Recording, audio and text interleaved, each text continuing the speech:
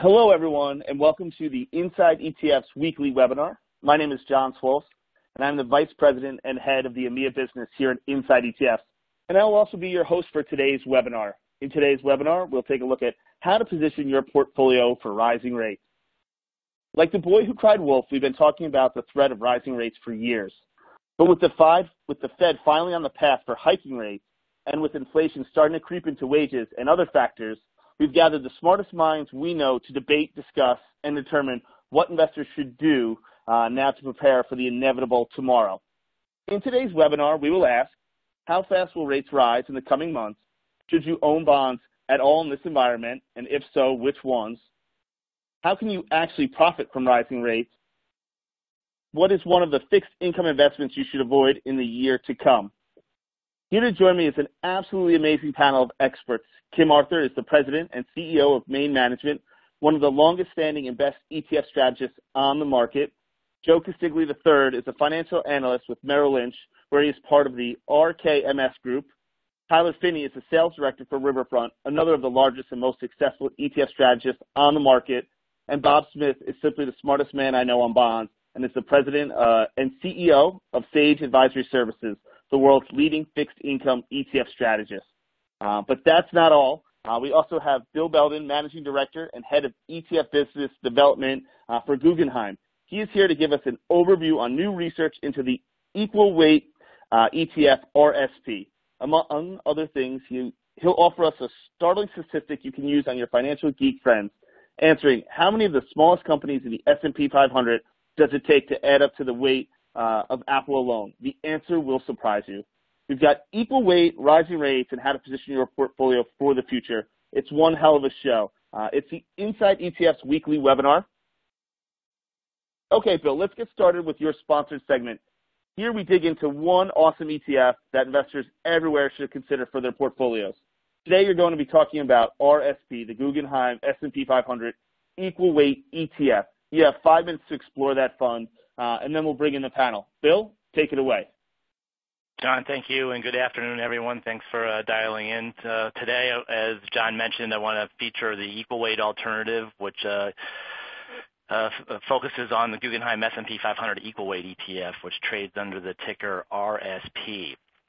Uh, three primary points we want to highlight for RSP, which uh, first, which is the performance potential of that particular strategy as a reflection of its demonstrated history of outperforming. We came out with RSP back in April of 2003 as the what we like to call the first strategic or smart beta ETF that was launched into the space that really removed market cap weighting from the equation. So performance potential is uh, the first feature. Um, secondly, we really want to position RSP uh, as a large cap core allocation, we'll provide some compelling statistics that support that notion. And then third, you know, more generally as it relates to ETFs, particularly on the equity side, is the tax efficiency associated with that particular wrapper. And when you're dealing with a strategy like equal weight, um, where there's a very dynamic approach to getting that exposure to uh, to equity markets. Uh, tax efficiency is a key component.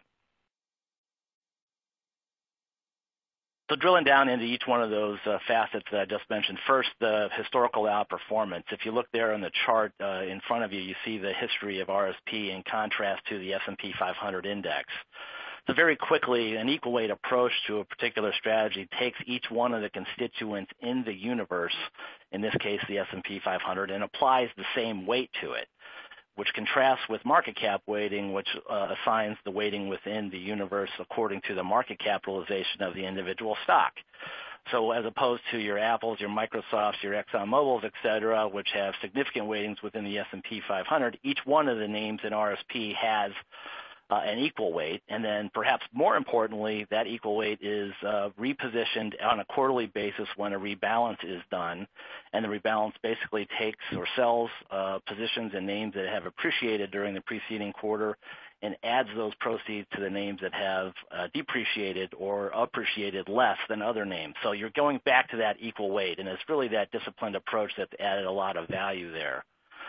I did talk about RSP as a core equity holding, of course, and the statistics shown there on the right-hand side uh, demonstrate its history of outperformance as a core equity holding. Um, we went back and took a look at the performance of RSP in contrast to the S&P 500 since it launched in April of 2003 and found that any 10-year window using rolling monthly returns, uh, every 10-year uh, window using rolling monthly returns, I should say, uh, RSP outperformed the S&P 500, which is a really compelling proof point to positioning RSP as a core equity holding. However, if you want to hold it for uh, shorter periods of time, certainly the value and the history of performance there supports its use in that manner, as well as you see 84% for five years, 71% for three years, and 57% over one-year histories Uh, certainly support its use to the extent that you choose to overweight using RSP as opposed to exclusively use it as a core equity holding.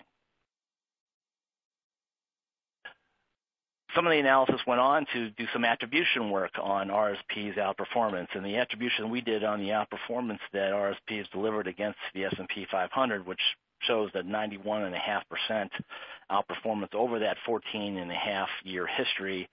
Uh, basically, we looked at you know what is attributable to stock selection, which in this case is the rebalance, and what is attributable to sector allocation, which is a byproduct of the equal weight approach. And we found that 80% of that 91.5% uh, outperformance was attributable to the rebalance effect. So really it is that disciplined buying and selling that takes place on a quarterly basis, which is where you get the value uh, within the equal weight approach, in contrast to market cap weighting, which doesn't have a rebalance whatsoever. It just continues to add on to those names that uh, appreciate in value. Finally, ETFs uh, are highlighted for their tax efficiency in general, but really quantifying that value sometimes is uh, understated. And if you look at uh you know the history of RSP, which again, pointed to a 14-plus year uh, life of delivering 300-plus% in total return, yet there has not been one capital gain provided within RSP throughout that entire lengthy history. And if you contrast that against peers in the Morningstar Large Cap Blend ETF or mutual fund category, you really get to see how that benefit is quantified.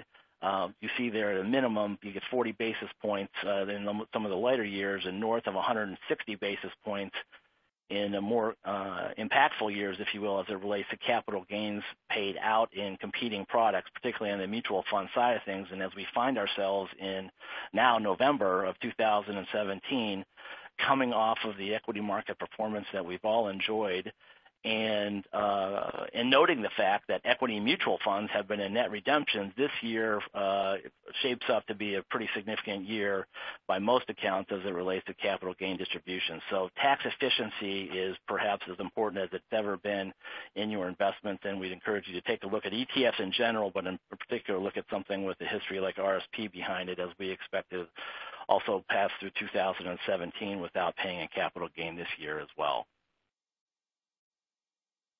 We did just put together a website uh, that we'd encourage you to take a visit, um, a pay visit to, which is equalweight.com. Uh, we we have a lot of information on RSP itself, but also information on equal weighting as it applies to other market segments, including uh, the equal weight sectors, including the S&P 400, S&P 600, and S&P 100.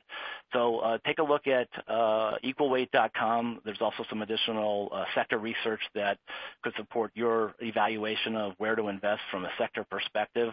Um, and we just launched that, so please take a look. I'll pass along the RSP performance that I talked about in graphical form earlier, highlighting of one other point too, which is we just reduced the fee for RSP from 40 to 20 basis points earlier this year. So uh, the value that's been provided over that history at a 40 basis point level is now applied uh, or available at 20 basis points, making uh, that much more value available to shareholders. Thank you so much for that, Bill. We appreciate you taking the time uh, to join us.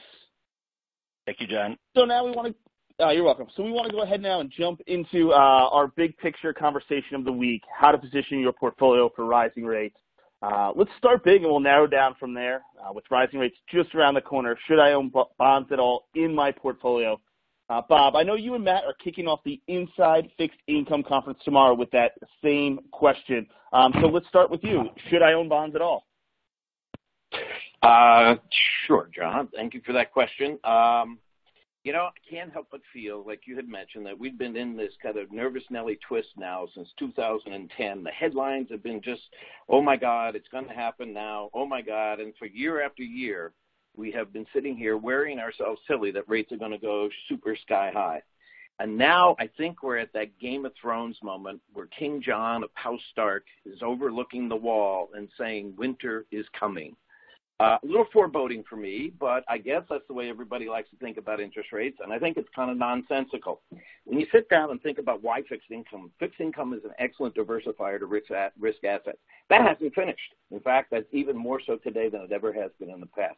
Let me tell you, over the course of the 10 worst drawdowns that we've had in fixed income over the course of the last, oh, three decades, going all the way back to 1980, you know what the average average down quarter was for the Agg in the 10 worst periods? A negative 3.7%. Golly gee, that great diversifier known as stocks, that must have been just roaring during those quarters. You know what you earned on stocks?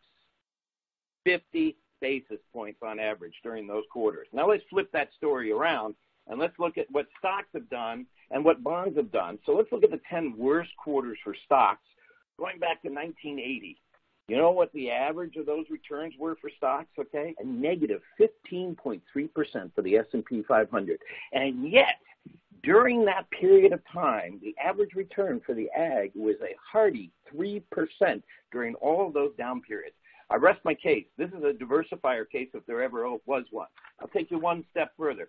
Over the course of the last 10 years, year by year, calendar year by calendar year, do you realize that there has been a stock, or rather a bond uh, sector, if you take the top eight sectors, treasuries, agencies, mortgage backs, corporates, U.S. corporates, U.S. junk, emerging market debt. You take those and tips, you take those eight sectors, you line them up, calendar year by calendar year, you realize that one or more of those sectors, each and every year, save three, beat the pants off the S&P 500 for that same year. So 80% of the time, there's a fixed income sector in those top eight that is going to hand it to the S&P 500. The range, the average range of opportunity in fixed income over this period of time, or these last 15 years, has been a hearty 18% on average each and every year. So what does that say? Be tactical and be active in your fixed income management. My God, do not index. Index at this point and sitting in the Agg, probably the worst thing you could do right now. So I think that there's a case for active fixed income management. I think there's a case for diversification. And given that we've had now two back to back really chubby years for equities, I'd be more concerned about what I'm going to be paying up for equities, particularly with the policy backdrop that we see right now, which is a little bit jittery and questionable. I think we have a concern about whether or not we should be throwing all of our fixed income babies out with the bathwater. And I'll give you one last little historical perspective. If you're really right. concerned, yeah, give us one last one. Go ahead. Go go ahead for it, Bobby. Yeah, give us one last little tidbit, please. Yeah, yeah, sure. Rising rate environments. I went back, looked over 20 years, and I went through and I found the four worst corrections in terms of interest rate moves, uh, going back to uh, the uh, late 1990s. And in those moves, the average move on the 10-year Treasury was a backup of 199 basis points. Treasuries during those period of time, 10-year Treasury, lost about 1.19%. And nothing to lose your, your lunch over. But you know what? The intermediate gov credit index during those downdrafts, those horrible downdrafts, was actually a positive 2.14%. You actually made money. So fixed income, it's not down and out, and don't count it out because I think it's going to be here to help uh, diversify and help grow returns over a reasonable period of time. Well, I think we all know where Bob lies uh, on this side of the argument uh, with that impassioned uh, cry to continue to own Bob to, to own bonds. But what I want to do, uh, Tyler, is I want to ask you a very similar question. Uh, but before we get into that, I want to quote something from a research paper uh, that your team put together. Uh, I believe that this came out uh, in January or so. Our first line of defense in our balanced portfolios is to underweight bonds versus equities. We prefer bonds that act somewhat like stocks high yield and investment grade over treasuries. Your team put that together in January, and it turned out to be the right call. Uh, but my question is, if you want to be underweight bonds, why not be zero weight? Should I own them at all? Sure. Yeah. Um, you know, our the question or the next question I would ask is, well, how much time will you give me if um, if you know if I were the advisor to the client? Because if you give me, you know, I'm in my late 20s, I I'm fine in an all equity portfolio. You know, my time frame's well over 10 years. Um, the you know for the retiree, I, I have a hard time believing they'd be able to sleep at night with a 100% equity portfolio. Um, and so one, the way we build our portfolios here at Riverfront, especially our balanced ones, um, is where if you give us, if you invest in our five-year portfolio, we, inv we invested in a way where if history is any guide, if you invest in our five-year portfolio and, and name your nightmare, 08 happens tomorrow, we will at least retain the principal you gave us. Um, and so, you know, if you opened an Armada Growth Income in 2004 um, and closed it in April of 2009, you retained 100%. You can't make that promise. Um, having little to no fixed income in the portfolio, especially in the sort of shorter time horizons, um, and especially for the mind, mindset of a, a, retiree, especially that fall into that three and five year category. Um, so, you know, our take is, is, you know, we certainly, you know, like it a lot less than we did back in January, even a year and a half ago when, when oil was hitting 26 was when we were, really got into the high space or the high yield space pretty heavily. Um, so our answer would be, you know, that the less time you give us, we're going to have more of it in there, um, more, more for downside protection, not because we like it. Um, and you know, the longer time frame you give us, the more we're going to be overweight equity and uh, more overweight, um, in particularly the developed international space, because uh, you're also getting an income component over there as well. Yeah, thank you for that, Tyler. Certainly, I think what we, we've established so far today is that there is uh, a couple reasons to own bonds. But Joe, I want to move on a little bit and focus here on, on rising rates. So I know that you manage portfolios for, for high-end clients. Uh, my two-part question for you is, one, is rising rates a concern? Um, and what are you doing to position clients for the new rate regime uh, in the future? Uh, thanks, John. So the way that we manage money here, uh, the RKMS Group at Merrill Lynch, is that we take a smart beta approach uh, across all our portfolios, but specifically to fixed income. Uh, we use momentum techniques to identify opportunities across the broader fixed income market, and we do that by using a quantitative rules-based algorithm that removes emotion and bias from the investment selection process. and It helps us optimize our portfolios for duration, credit quality, and yield. So, With that in mind, uh, um, I mean, of course, we're concerned about rising rates, but we're not necessarily concerned in how far, how fast. We're more concerned with the shape of the curve and how it affects the individual, uh, what are the responses of the individual asset classes to the move in interest rates. Um, so just as an example, if, if you were to look at the prior rate hike cycle from 2004 to 2006, and I, I think a few people have alluded to this, that we've been talking about rates rising basically since the beginning of QE, um, and it's, that, that call has largely been incorrect. And if you look at that rate, previous rate hiking cycle, you, can see that the back end of the curve after initial jump in the entire curve, people start piling into the front end to protect themselves, but what actually has happened is the front end continues to move higher and you have a flattening where the back end continues to move lower. So it makes for a lot of very attractive opportunities on the back end, which is sort of counter, counterintuitive to shortening up your duration and minimizing your interest rate risk. Gotcha. Joe, I appreciate that. Um, Kim, kind of moving along those same lines and keeping the topic of rising rates, one, how do you position clients, uh, and are rising rates a concern? And then The other question I have for you is, um, you guys are famous for your uh, sector equity strategies. Is there a sector play that that protects clients from rising rates? So Your two questions there are uh, are rising rates a concern, and how do you position clients? And then Can you use a sector play as a defense against those rising rates? Did we lose Kim? He might be on mute. I don't know if we have Kim with us still. All right. Well, you know what, Joe? I actually have another question for you, and if Kim gets back on the line, we will uh, hey, we'll go John, ahead and John, turn it over. John, you just came uh, back. John, hey, John, it's Kim. Yes, you just gotcha, came Kim. back there. It went totally blank. Yep. Ah, uh, sorry, Kim. So, uh, Kim, I had a, a, question for you. Is um, how do you position clients uh, during rising rates, and are they a concern for them? And the other question is, uh, you are famous for your sector equity strategy. Is there a sector play uh, that protects clients from rising rates? Great, John. Thanks a lot. Um, yeah, so we do focus a lot on fundamentals and sectors and trying to find out where we can kind of be um, in the right place, find, trying to find out where, where, where we can be to catch that wave. So if you look from our standpoint, rates are rising because global growth is going up. Right now, you've got global growth that's broken out of the 3% trend range and is, and is moving towards a 4%. So that actually is good for equities, which is why we've seen pretty robust equity markets around the globe here. And I think when you drill down specifically, if you're looking for sectors or areas that make a lot of sense, the financial space, which right now for the S&P is a 15% weighting, the max weighting that that's been historically is 22%, so it hasn't been completely arbed out yet.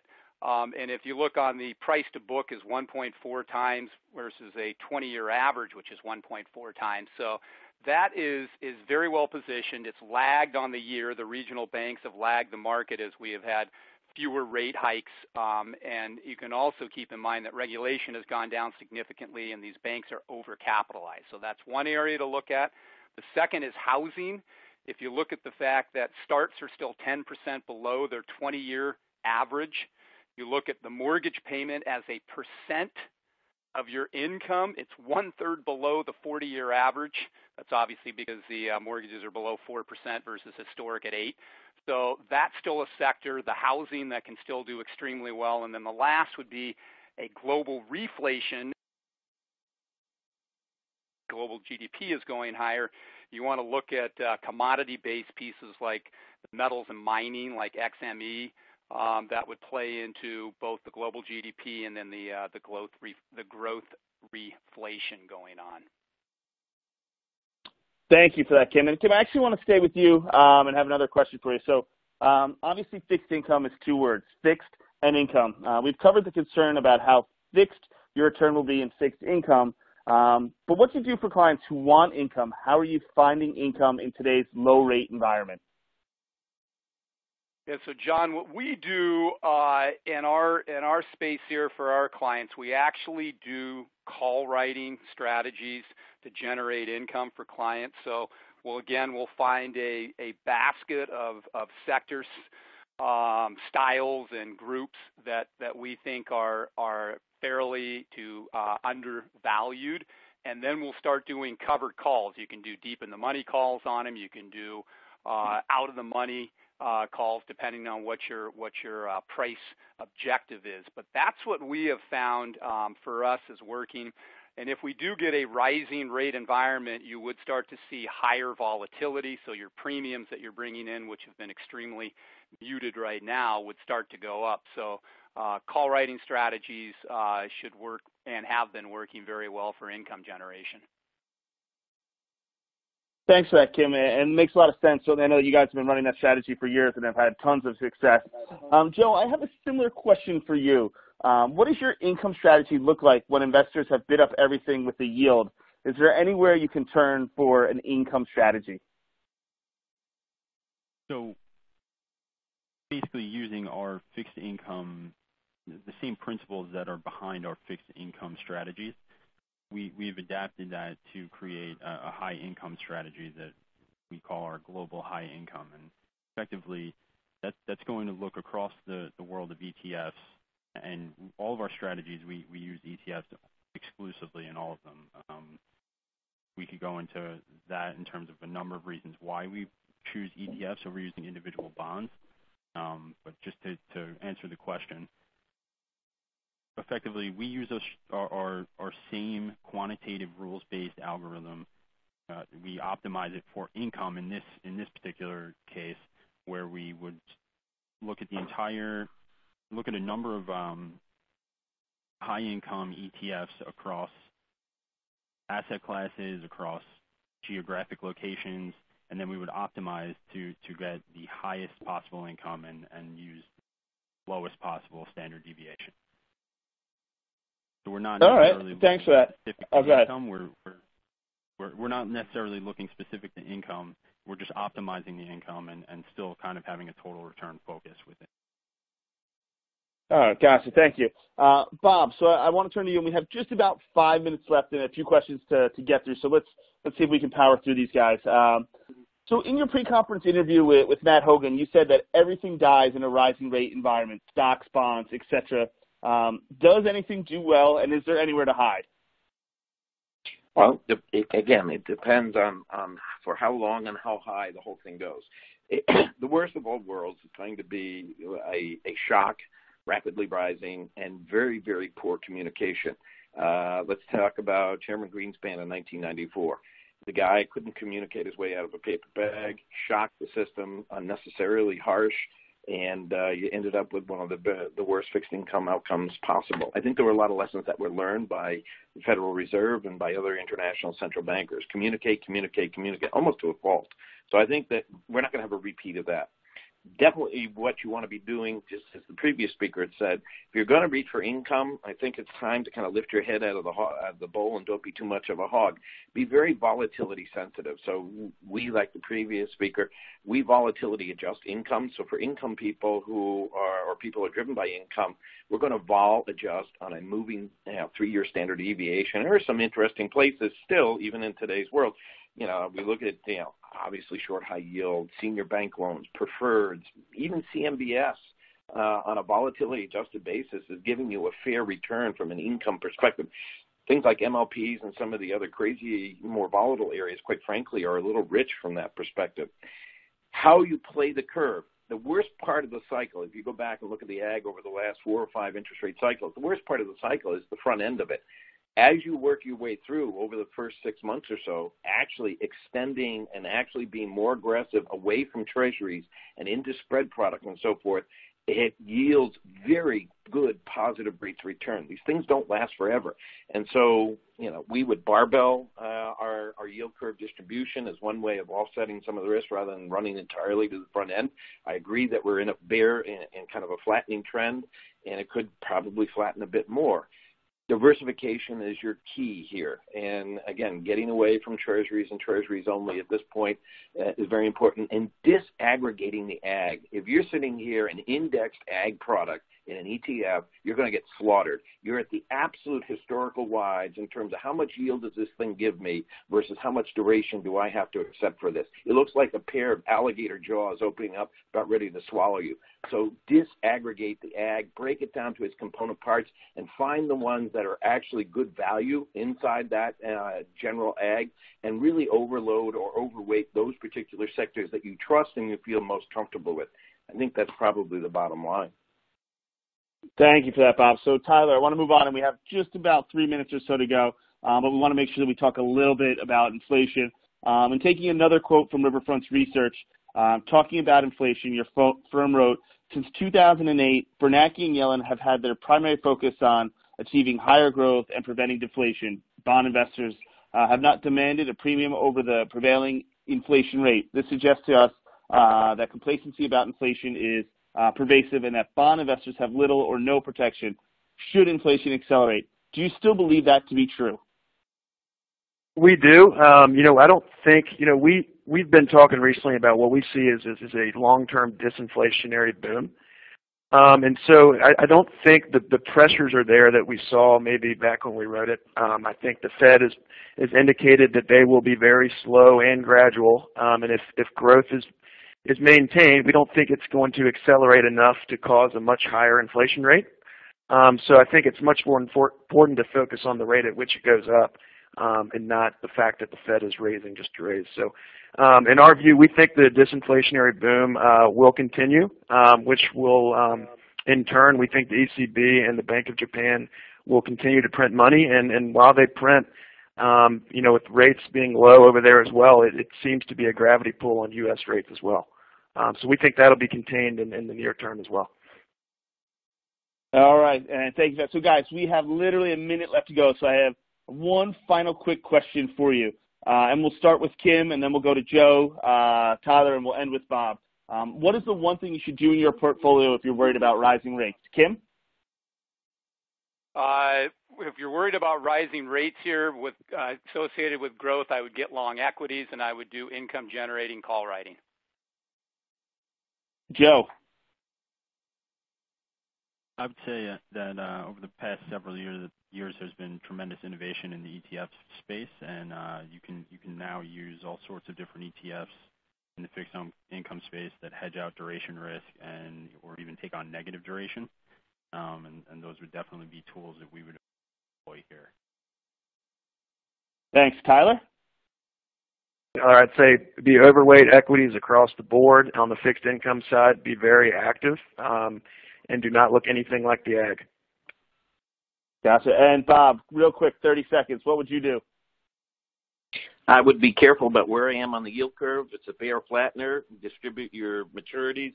Be very diversified uh, into higher yielding spread product. And if you think buying income producing equities is wonderful in a rising rate environment, I'll take you back a few cycles and show you how they got butchered. All right. Well, that's going to do it. We're all out of time. Um, thanks everyone for joining the Inside ETF's weekly webinar. Join us again next week where we bring in the legendary Richard Bernstein for an in-depth interview exploring where to invest in 2018 and beyond. Have a great day, everyone. Thanks for your time.